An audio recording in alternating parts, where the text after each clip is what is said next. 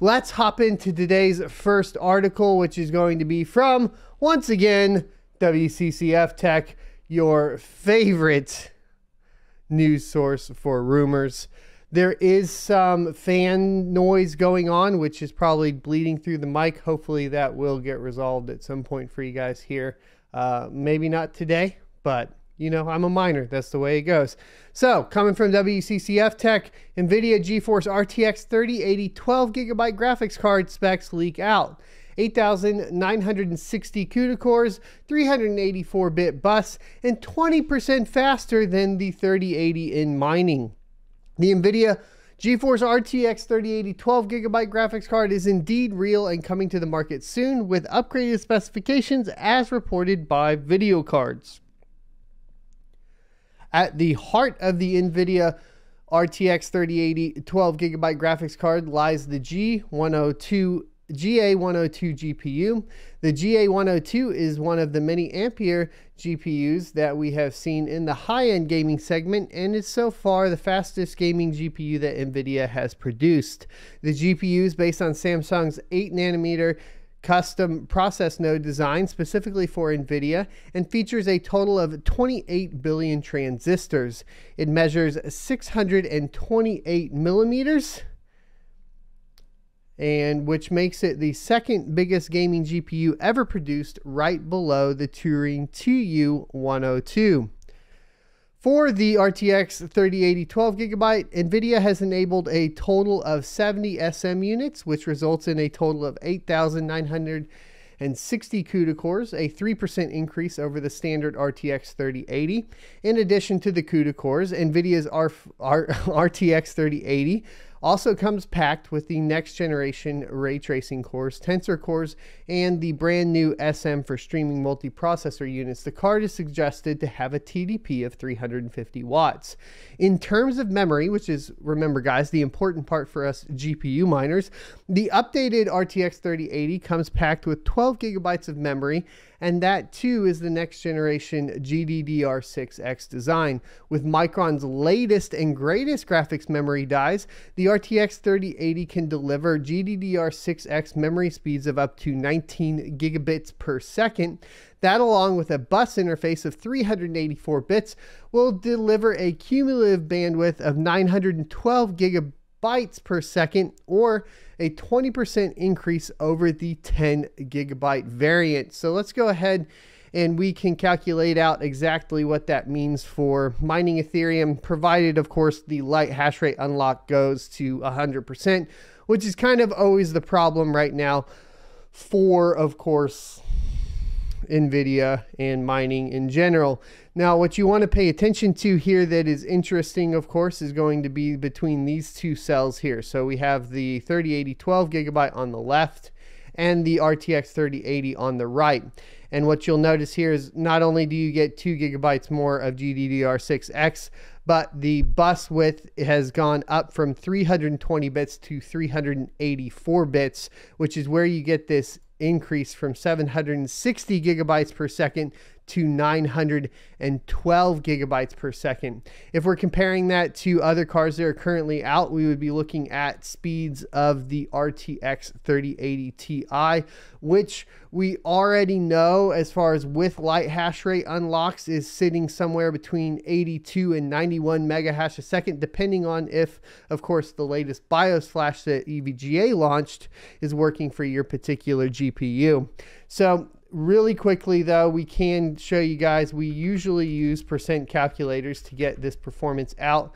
We have done it with the 3080 ti before so this is nothing really new but the calculation is pretty simple. If we're taking a look at an rtx 3080 we would basically take this in here and, and, and throw it over into this calculator. Then we would get the, the memory speed of the 3080 12 gigabyte and throw it into here and calculate that out, and we know that it's basically 120% uh, of basically with the RTX 3080 mining performance. So, like they stated, a 20% increase.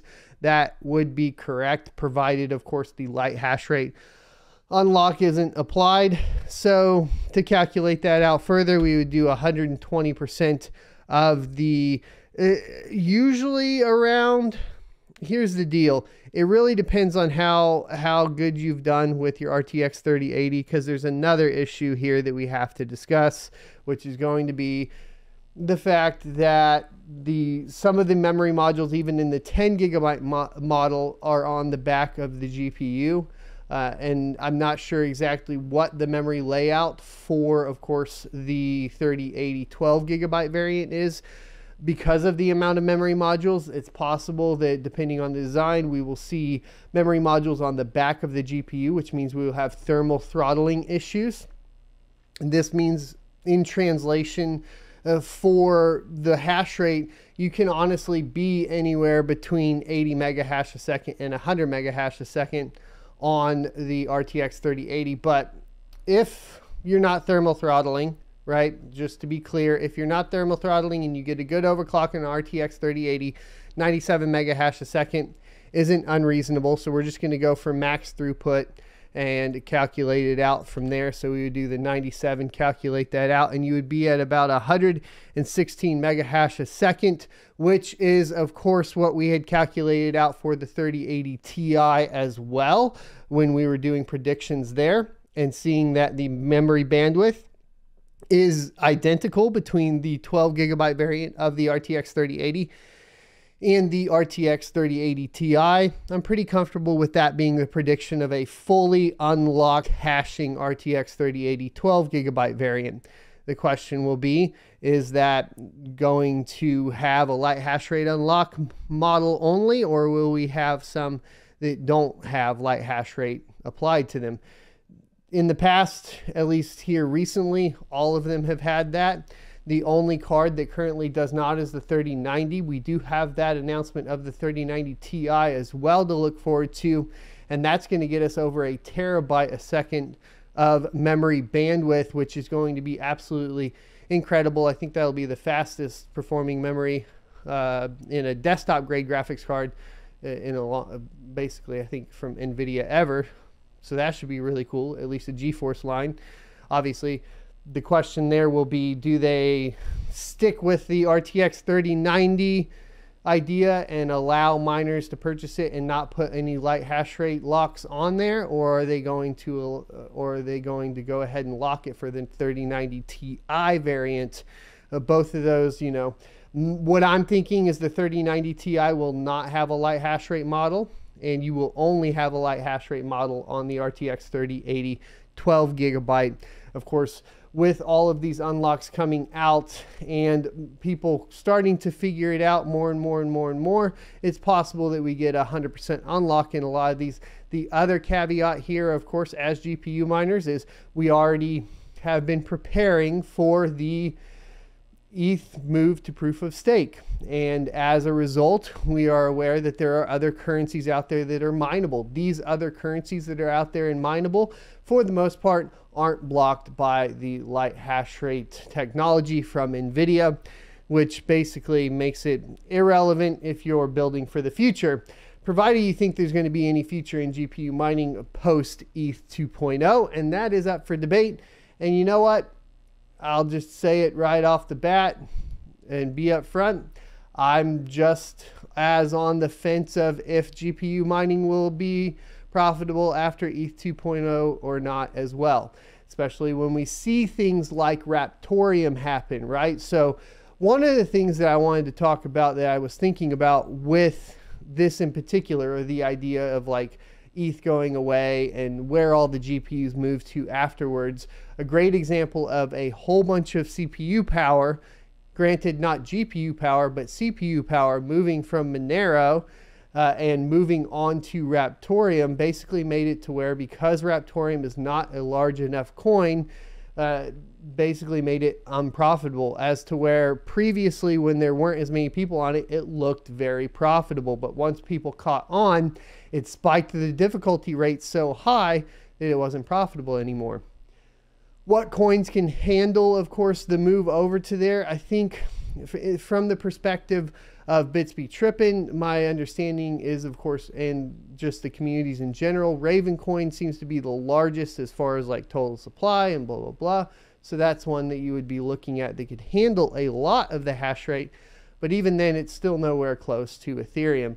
Hopefully, everything will get spread out evenly, or at least in the worst case, what we may see is GPU miners, at least smaller ones, start selling off their rigs, and that gets consolidated into bigger farms. Of course, that's also been an issue with ASICs as of recent, as you see the difficulty spike even in Bitcoin and so on, as larger and larger companies are able to buy more and more in bulk, pushing out essentially the kind of hobbyist miners, which is not ideal in my humble opinion. I think it goes against decentralization.